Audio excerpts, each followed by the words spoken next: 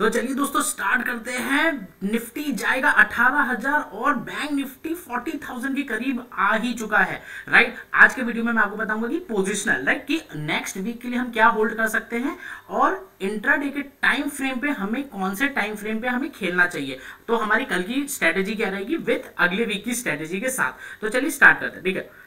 Nifty bank 40,000 के लगभग बहुत करीब आ चुका है सारे ब्रेकआउट्स को तोड़ते हुए। मैंने आप लोगों को बताया था कि ये एब्जॉर्ब हो चुका है तो ये काफ़ी अच्छा है राइट इवन निफ्टी 50 भी ऑलमोस्ट 18,000 से बस 209 पॉइंट से दूर है ठीक है? तो ये सब के साथ तो चलिए स्टार्ट करते हैं निफ्टी बैंक। पहले देख लेते कि वीकली हमारी पोजिशन क्या रहेगी ठीक है? अब हमने क्या यहाँ पर हमें कल क्या पता पड़ गया था कल बजट के दिन पे कि ये जो बेस है ये जो ऑब्ज़र्व हो चुका है तो मतलब स्ट्रेट फॉरवर्ड है कि ये मेरा इंपॉर्टेंट यहाँ पर ये सपोर्ट बन चुका है। ठीक है मैंने आप लोगों को कल वाली वीडियो में क्या बताया था कि अगर 38,800 के ऊपर या 900 के ऊपर द मोमेंट ये निकलेगा राइट द मोमेंट ये निकले आप इसको कॉल बाय कर लेना। बट क्या वो मार्केट क्या हो गया? गैप अप हो गया। बट ठीक है तो उसने क्या हुआ? गैप अप यहाँ पे ये देखो जहाँ पे ये इसका ये रेजिस्टेंस था वहीं से ही इसने स्टार्टिंग दी। तो मतलब एक ये है कि काफ़ी अच्छा था। ये था कि थोड़ा पुल बैक आएगा बट नहीं आया। स्ट्रेट फॉरवर्ड मार्केट जंप कर गया, ठीक है? और अगर मैं प्रीवियस लो के हिसाब से बताऊँ तो यहाँ पर ये देखो, ये जो रेजिस्टेंस है, ये वहाँ पर पहुँच गया है और स्ट्रेट फॉरवर्ड साइकोलॉजिकल टारगेट है फोर्टी थाउज़ेंड तो मतलब अब हमारे पास यहाँ पे ये तीन रेंज मिल चुकी है निफ्टी बैंक में राइट ये चीज़ पसंद आएगी तो लाइक करो। मैं आगे आपको लोगों को और सिखा रहा हूँ, ठीक है? और अभी यहाँ पर हमारे पास क्या है? टारगेट क्या है?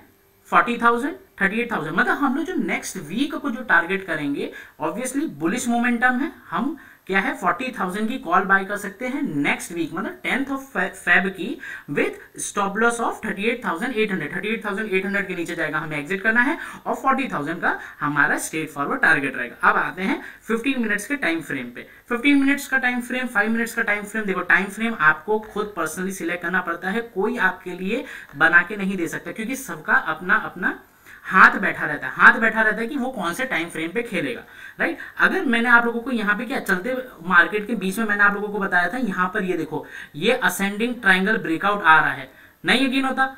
ये देखो ये रहा वीडियो, जाओ जाके देखो। मैंने लाइव मार्केट में आपको इवन चार्ट्स में भी दिखाया था, और मेरी स्ट्रेटेजीज देखोगे तो आपको कुछ ना कुछ डेली नया सीखने ही मिलेगा, ठीक है? तो यहाँ पर क्या था कि यहाँ पर हमें असेंडिंग ट्राइंगल का यहाँ पे बहुत इजी यहाँ पे ब्रेकआउट मिला बट यहाँ पे थोड़ा कंसोलिडेशन हुआ। अब यहाँ पे कंसोलिडेशन का मतलब क्या है राइट कंसोलिडेशन का मतलब क्या? ब्रेकआउट आया आया आया, आने वाला था ही, और उसी के साथ साथ वो यहाँ पर सपोर्ट ले गया, ठीक है? यहाँ पर देखो तो मतलब ये जो लो है राइट ये जो लो है, ये अभी करंटली क्या है? यहाँ पर ऐसा सपोर्ट काम करे, क्यों? क्योंकि ये इसने ब्रेकआउट से पहले जो एक डाउनफॉल होता है, यहाँ पे एक बहुत अच्छी सीखने की बात है कि ब्रेकआउट से पहले जो डाउनफॉल होता है, वो एज अ सपोर्ट काम करता है। मतलब कि ये जो पॉइंट है राइट मैं आप लोगों के लिए स्पेशली मार्क कर देता हूँ, कल के लिए, ये कल के लिए है कि अगर market thirty eight thousand, thirty nine thousand one hundred. Thirty nine thousand one hundred के नीचे अगर क्लोजिंग देता है तो हम लोग कल सेलिंग साइड का टारगेट लेंगे और हमारा जो टारगेट रहेगा मतलब अगर इसके नीचे खुलता है तो हम लोग क्या करेंगे ये ये वाला हमारा टारगेट रहेगा, हम लोग वो पुट लेंगे, ठीक है?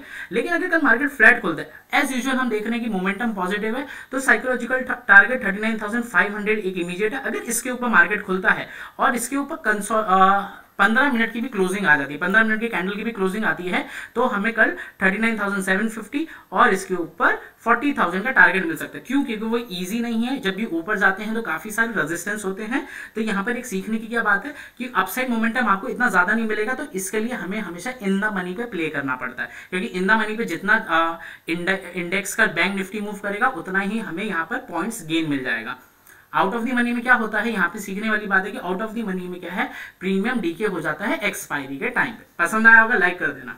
ठीक है? तो अगर कल मार्केट फ्लैट खुलता है तो फ्लैट पे हम देखेंगे कि कहाँ पर जाता है। अगर ये ओपनिंग को सस्टेन कर गया तो हमारा मोमेंटम है कॉल साइड अगर ये आता है तो अगर यहाँ पे सस्टेन नहीं करता तो हमारा पहला टारगेट रहेगा ये और दूसरा टारगेट रहेगा ये। इसके नीचे जाएगा तो फिर मोमेंटम काफ़ी थोड़ा बिगड़ सकता है कल के लिए बट होप सो ये 39,100 सस्टेन करके ये वापस से एक पुल बैक यहाँ पर दे। तो ये थी निफ्टी बैंक की हमारी स्ट्रेटेजी अब यही है सेम एज यूजल यहाँ पर है यहाँ पर क्या हुआ? बजट ने यहाँ पर एब्जॉर्ब हो गया। बजट यहाँ पर एब्जॉर्ब हो गया। तो मतलब ये वाला पार्ट क्या है? ये वाला पार्ट अभी हमारा बन गया है एज अ सपोर्ट ठीक है? 17,250 के नीचे जब तक नहीं जाएगा तब तक हमें टेंशन वाली बात नहीं है। अभी क्या हुआ? 17,000 ये देखो ये इमीडिएट जो रेजिस्टेंस था उसने इमीडिएट रेजिस्टेंस ये देखो ये वाले। इमीडिएट रेजिस्टेंस मतलब क्या होता है? जब ये ऊपर जाके नीचे गिरता वहीं से सपोर्ट ले लेता है तो वो क्या है? हमारे क्या बन जाते हैं? रेजिस्टेंस बन जाता है। क्योंकि पुराना सपोर्ट जब टूट जाता है तो वो क्या बन जाता है? रेजिस्टेंस ये चीज़ पसंद आएगी तो लाइक ज़रूर कर देना ठीक है? अब यहाँ की स्ट्रेटेजी क्या अब हमारे पास ये क्या है कि आज का जो लो है आज का जो सपोर्ट है वो हमें क्लोज करना मतलब वो हमें सपोर्ट करना चाहिए और ऊपर हमारे टारगेट है 17,900 के। 18,000 स्टिल थोड़ा सा मुश्किल जा सकता है क्योंकि आप लोगों को अगर पिछली बार जो लोग एनालिसिस देख रहे हैं कि 17,900 900 पे काफ़ी टाइम कंसोलिडेट किया था। यहाँ पर देखो एक दिन दो दिन तीन दिन और फिर चौथे पाँचवें दिन ब्रेकआउट आया था। तो इसी के साथ तो अगला जो टारगेट है 17,900 की आप कॉल लेके ले, सकते हैं with a stop loss of 17,690 के स्टॉप लॉस के साथ। मतलब आज के दिन का जो लो, लो है उसको हमें ऐसे स्टॉप लॉस लेना है और 18,000 का हमें यहाँ पे टारगेट करना अब आ, जा, आ जाते हैं कि कल हम लोग मार्केट को कैसे अप्रोच करेंगे। आज का मार्केट क्या है? निफ्टी फिफ्टी तो काफ़ी फ्लैट रहा। निफ्टी फिफ्टी तो देखो सिर्फ़ एक जहाँ से शुरू हुआ वहाँ से धीरे धीरे धीरे धीरे धीरे धीरे ऐसा मार्केट वहीं पर कंसोलिडेट करता रहा। बट अब यहाँ पे क्या है, लेकिन मार्केट ने कहाँ पर खत्म किया? मार्केट ने खत्म किया डे हाई निफ्टी बैंक में भी जो दिन का ये जो, ये था ना ये ब्रेकआउट देने से पहले मोमेंटम देने से पहले जो लो रहता है वो हमेशा बचना चाहिए चाहे कुछ भी हो जाए। तो यहाँ पर क्या है? वो यहाँ पर सस्टेन हो गया है।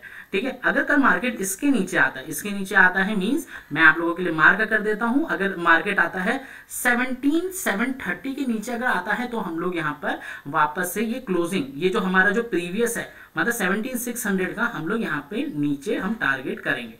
ठीक है? अगर ये 17 ये मैं आप लोगों के लिए यहाँ पे मार्क कर देता हूँ, आप नोट कर लेना, ठीक है? और तब तक वीडियो देख रहे हो तो लाइक कर देना, ठीक है? 17 730 के नीचे आएगा तो हम लेंगे यहाँ पे लो। और अगर कल मार्केट खुलता है और गैप अप खुलता है राइट गैप अप खुलता है लेट सपोज़ यहाँ कहीं पे खुलता है।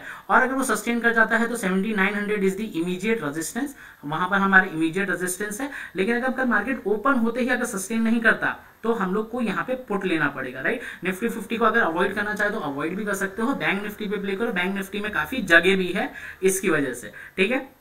और अगर ये वाला अगर सपोर्ट तोड़ देता है तो ही हम यहाँ पर हम कल पुट लेंगे और एस हमारा यहाँ से बाय होगा। Just note down the level level chart देख के खेलोगे, कभी गलत नहीं जाओगे। अब आ जाते हैं एक इंडस इंड बैंक पे जो काफ़ी लंबे टाइम बाद हमें यहाँ पर एक ब्रेकआउट पे दिख रहा है। ठीक है? तो आई होप आप लोगों को ये जो पसंद आ रहा होगा, जो स्ट्रेटेजी है क्लियर आप चार्ट से खेलो। आप मोबाइल से मत खेलना। मोबाइल से खेलोगे तो फंस जाओगे, ठीक है? अगर ट्रेडर बनना है और इम्प्लीमेंटेशन करना है तो चार्ट एक लैपी होना कंपलसरी है या बड़ी स्क्रीन होना उसके लिए कंपलसरी है। अब यहाँ पे क्या है? इंडसियन बैंक अपने रेजिस्टेंस पे आके उसने यहाँ पर क्लोजिंग दिया। यहाँ पर क्लोजिंग दिया, यहाँ से नीचे गया, फिर ऊपर आया, फिर से यहाँ पे नीचे गया। लेकिन अभी यहाँ पे क्या है? प्राइस इंक्रीज राइट मतलब प्राइस इंक्रीज हुआ यहाँ से एंड वॉल्यूम इंक्रीज मतलब प्राइस के साथ अगर वॉल्यूम इंक्रीज हो रहा है तो मतलब अगर कल ये ऊपर निकलता है लेट सपोज़ यहाँ पे, इसके ऊपर 970 के ऊपर निकलता है तो 970 के ऊपर हमारे, मेरी बाय करने की यहाँ पर एडवाइस रहेगी. टोटली मेरी पर्सनल है, आपको फॉलो करना है तो आप श्योर आपने रिडार पे रखिए ठीक है? This is for a learning purpose ठीक है? तो 970 968 का स्टॉप लॉस अगर 971 के ऊपर निकलता है तो हमारा टारगेट रहेगा थाउज़ेंड मतलब टू पॉइंट से थ्री पॉइंट का आप ऐसे लीजिए और थाउज़ेंड रुपीज़ का हम यहाँ पे टारगेट ले सकते हैं। क्योंकि यहाँ पे प्राइस एंड वॉल्यूम ब्रेकआउट यहाँ पर हमें दिख रहा है। तो आई होप आप लोगों को ये वाली मेरी स्ट्रेटेजी पसंद आई होगी। यहाँ पर आप लोगों को कुछ नया ही सीखने मिला होगा, क्योंकि मैंने कुछ ऐसे पॉइंट्स हैं जो यहाँ पे काफ़ी अच्छे से डिस्कवर किए। तो चैनल पे पहली बार आए हैं तो लाइक करें शेयर करें सब्सक्राइब करें और जाके देखिए कि यहाँ पे मैंने जो ब्रेकआउट दिखाया लाइव मार्केट में, जो मैंने आप लोगों को अभी बताया कि असेंडिंग ट्राइंगल का ब्रेकआउट था तो वो चीज़ मैंने यहाँ पे लाइव रिकॉर्ड करके डाली है। तो पसंद आएगा पहली बार आए हैं तो सब्सक्राइब करना ना भूले। तो चलिए, आज के लिए बस इतना ही। Thank you